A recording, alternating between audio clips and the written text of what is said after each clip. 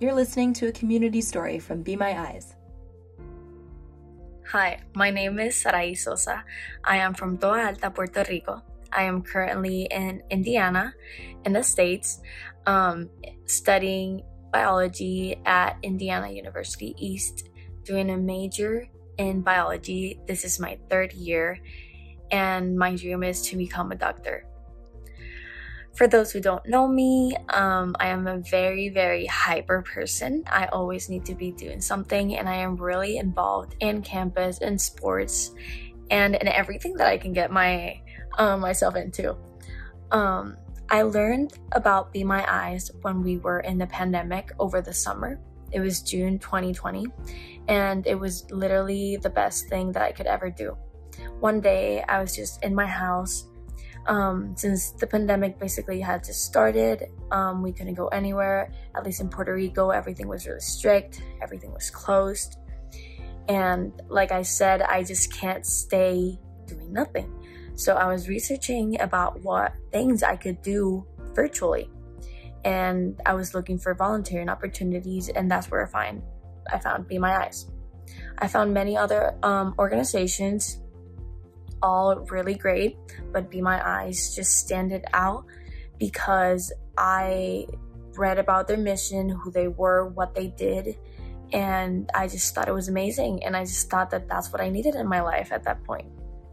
Um, little did I know that it was going to be such a big thing for me and that I would be such a learning and impactful opportunity, um, not only for me, but for all the people that need help and that are in the app. Um, one of the calls that I received, that I was able to receive and help, was a woman. She needed um, help to match one of her face masks um, to a dress that she wanted to wear for that night. Um, and we literally instantly we connected because um, she was talking to me about the dress, what she was going to do that night, and what she needed the mask for. Because obviously, at that point, we needed to wear a mask. It was something really new, and she just wanted to feel comfortable, even if she needed to wear a mask. Um, I helped her, and then little did I know she was from Puerto Rico, the same place I'm from.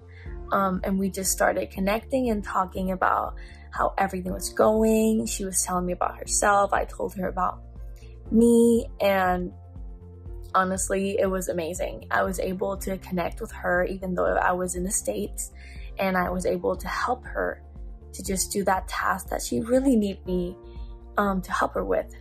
So I was really grateful that I was able to help her through Be My Eyes. Be My Eyes, I think it's more than just helping the vision impaired people to do their daily tasks. It's about creating an impact um, and being able to just change their life because we do, even if we think it's just something um, small for us, is something big for them. And I just think that it is amazing how we can do that through just our phones. Be My Eyes has literally changed my life. I the only thing I say I regret is not learning about this app sooner because I love it. I love the opportunity to be able to help to be able to make an impact, like I said, to be able to just be there for people that need someone like me, someone like you to be there and help them with that task. Definitely, I encourage all of you that are seeing this video to connect, to be part of this beautiful family, this beautiful mission, because I will continue to spread out the word about Be My Eyes, how amazing it is, and how much of an impact we are creating.